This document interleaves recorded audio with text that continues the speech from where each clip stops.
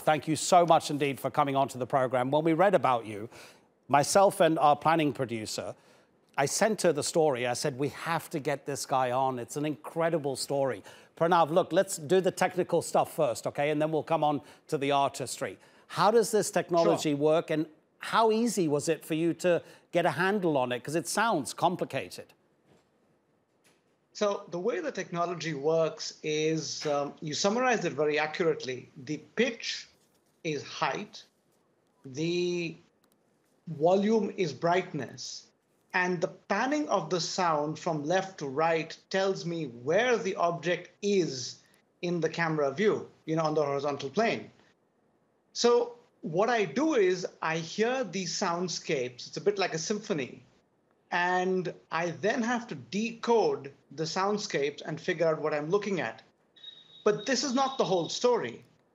What also happens is that when I hear these soundscapes, my visual neural cortex gets activated. So the theory behind the software, it's made by a Dutch physicist, Dr. Peter B.L. Meijer, is that these electrical signals are the same as you get from your eye. So the brain says, wait a minute, I am getting visual signals irrespective of the output. So let me use the neurons for vision to process this input. Therefore, it is some kind of vision. Now, I have never seen because I'm congenitally blind, so I can't tell you if it is like organic vision. But um, yeah, it gives me the ability to perceive what I can't perceive with any of my other senses. Okay, so how did you come about deciding that this was the thing that you would pursue? In other words, be a photographer. I mean, it's not your profession, is it? It's kind of your passion. Yeah, it's not my profession at all. Uh, I, I work in the area of cybersecurity. The the way this came about is when I started using the voice in, say, somewhere around 2000, uh, I was like, okay, I am seeing this, but what am I looking at?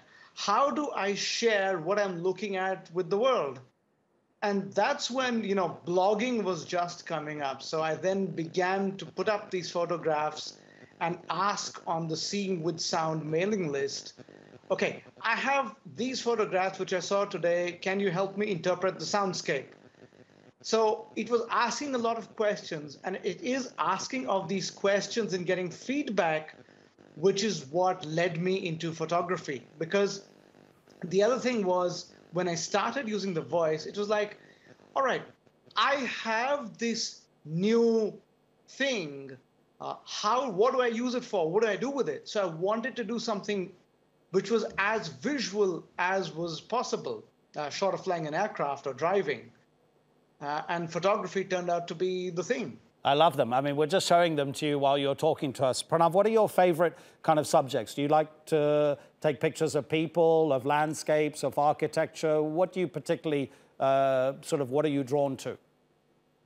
Uh, I'm drawn to landscapes and architecture. I, I, love landscapes, especially something you know with the mountains, water. I love architecture because we can create so many different shapes. And if you if I tilt my head in one way, I get a different view. If I tilt my head the other way, I get a different view. Just like you know the way you see with your eyes, it's the same thing. But it's the intricacies of the sound that uh, attract me and also the process. Okay, let's say uh, the world reaches the end of the coronavirus pandemic and you can travel anywhere you want and go to any particular location that your heart desires. What's your number one choice? My number one choice would be someplace with a volcano, preferably an active volcano. I want to go down. I want to see the lava flowing uh, and the rocks and so on. What about selling your photography? Any chance, any idea you've explored it?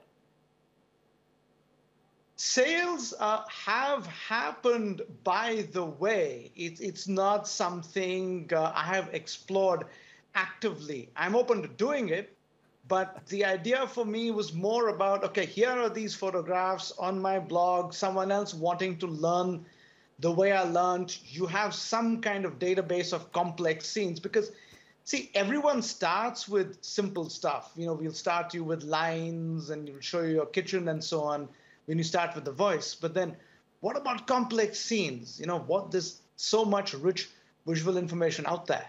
Pranav, thank you so much indeed. Okay, I'm going to repeat your name in case anybody's watching and wants to check out your stuff. It's worth it. Pranav Lal, photographer in New Delhi. Take care, Pranav.